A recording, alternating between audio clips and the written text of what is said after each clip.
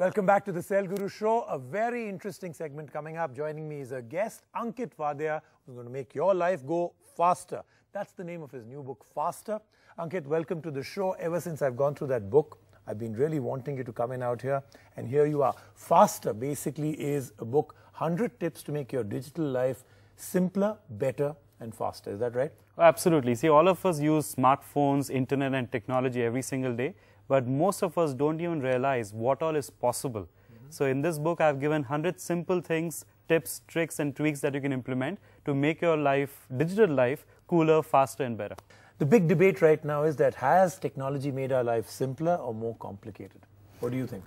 I think uh, it's made your life simpler. It's just that, especially in India, the awareness level of what all is possible on a smartphone is a lot lesser compared to the West.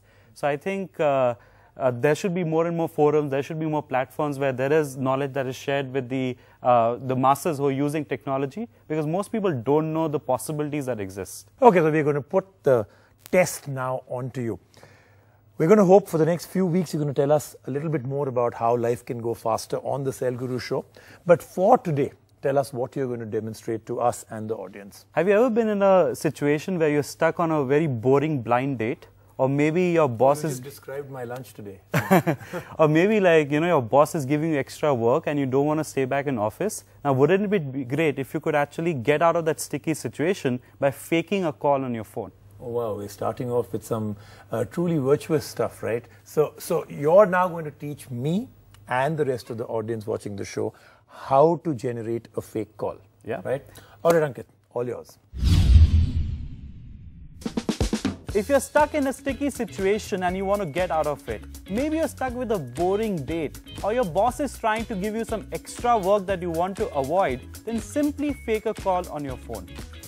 Let me show you how. On your Android phone, you can download a free app known as Fake a Call.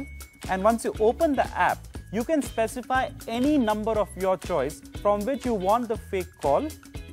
You gotta enter the fake caller name. So in this case, I'm gonna go ahead and type Barack Obama. And obviously that's not the real Barack Obama number. You can choose any photograph and ringtone for that fake call. And finally, you gotta select the time at which you want the fake call and simply press the schedule call button. And at that given point of time, if you notice, I've actually received a phone call from Barack Obama. I wonder what he has to say.